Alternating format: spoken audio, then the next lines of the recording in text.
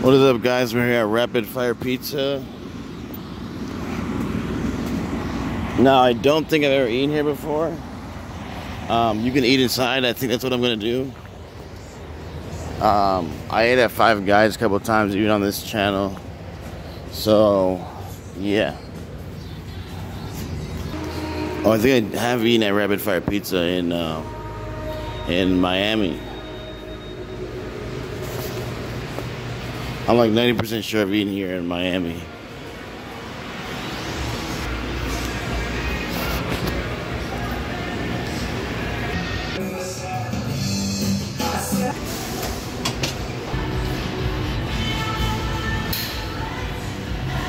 They got all this stuff in here, loud music. New vegan pizza. You guys, we're going to the gym from here also, so make sure to stay tuned for that. Maybe basketball.